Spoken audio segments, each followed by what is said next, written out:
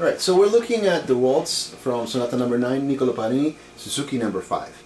Right? Uh, the best way to start this piece is by actually training your ring finger to play on the E string, right, as you play with basses, and your middle finger to play on the B string. We're going to completely forego the G's that happen kind of almost intermittently as an accompaniment, right, in between all the notes. We'll bring that in in just a bit, right? So start with C, Next, you're going to play an E minor chord that we call actually the friend of your toes. Why? Because there's going to be another one that is going to be the friend of your nose, right? So straight down here, right? Then to the G chord. It's a G7. It's one on the E string with D bass, right? Notice that I'm using my ring finger on the first string for that. And then you go back to C, which hides behind, right? It's another formation of, uh, well in this case the G, G chord right? So we're going to call it the friend of your nose, the upstairs friend. And then back to C. So that's the first part. So just playing it. Down, G, back to C, behind, back to C. Right? And it's going to be constant with all of this, the first part. The second part, the B section, goes straight down to the E chord or the downstairs friend, or the down, down to the toes. Then the G7, back to C, behind. Now we're going to add an A chord, just for an A minor, and then the G chord, the big big daddy three as we call it, right? Uh, now that we're playing on that B string, try to use your middle finger, right? Okay, and then we do the first part again. But let me just play the first line for this. And.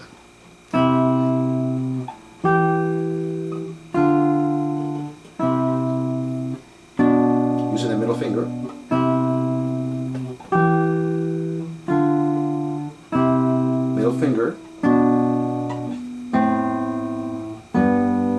Now we're going to do the second line. It starts exactly the same way. So the first part is the same.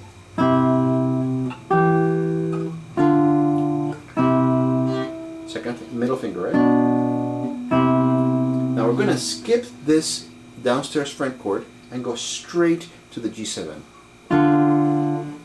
behind. And instead of the, the A chord, it's going to be the same one, but it's a C major chord, full C major chord, two on the D string, three on the on, on, on the fifth string. So that's a full C major chord, right? And it's the basis for a lot of country music chords. So if you want to get started with that, it would just get you get you going with that, right? So now here's the second line.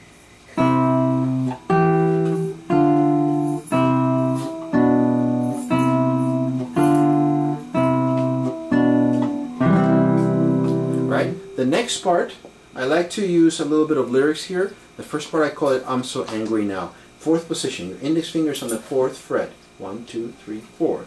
Right? You're not going to start with the index finger. Play open E. Two, one with E bass. Four. And it goes with that I'm so angry now lyrics. I'm so angry now. And then louder as you get to seventh position. Same thing, but on seventh position, right? Seventh fret.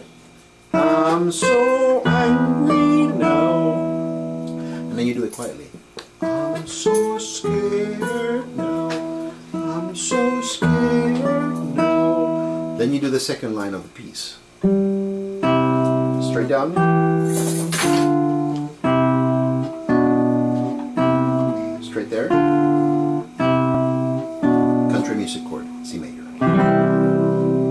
The next part, fifth position.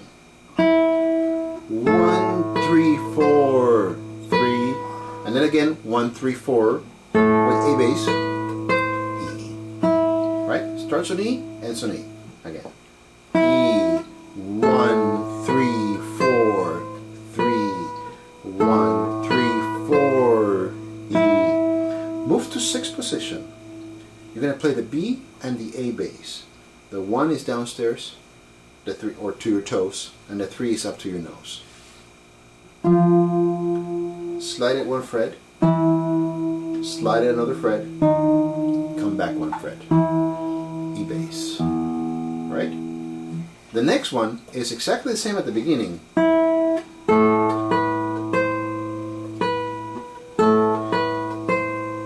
And you jump to first position, three and four are half stacked. That means that they're not on top of each other directly, but they're on the same fret. On the D string and the B string. Two and one, D and B strings, respectively. Then B and E bass, then two and G string uh, with A bass. Right? So here comes that entire little section.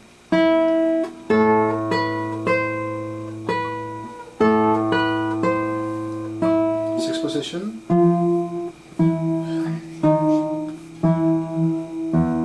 Again.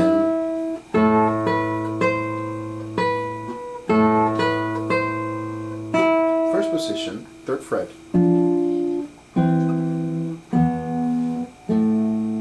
The next part, a little bit tricky.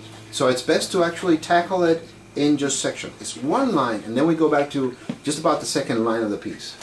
So get a second position and this time instead, of uh, being on the first string, this is what's confusing about it. You're going to actually use your 1 on the B string, A bass, so 4 on the E string, right? A bass, 1 on the B string, 2 on the E string. It's only the one that goes on the B string there to, to confuse you, right? So if you just remember that one is going to be in the B string, everything else is going to be in the E string, you're actually in much better territory. Much better territory, sorry.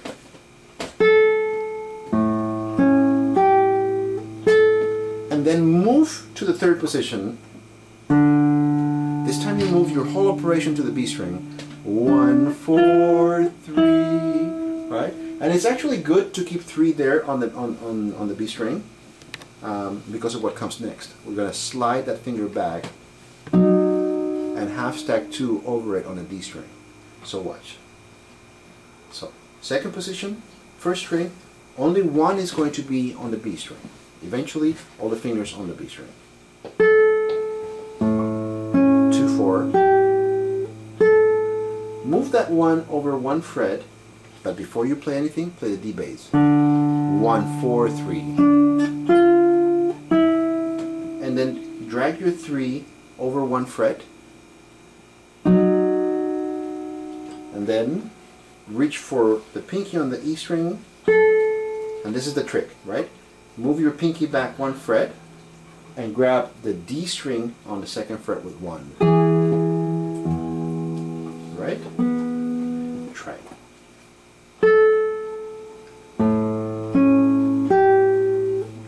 Third position. Drag your third finger back one fret on the D string, goes to your F sharp, your, se your second finger, half stack, right? move your pinky back in and second position one is going to grab the D string on the E? E bass. So without talking?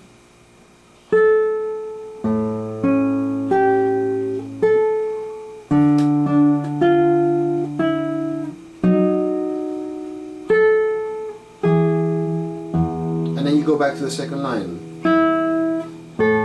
And second part. Third part